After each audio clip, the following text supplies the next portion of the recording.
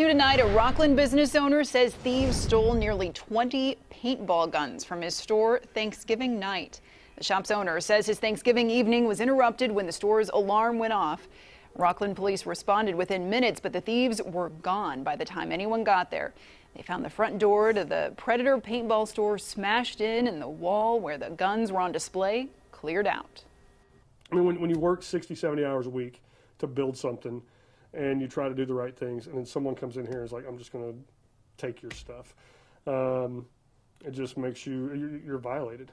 Um, there's no other word for it.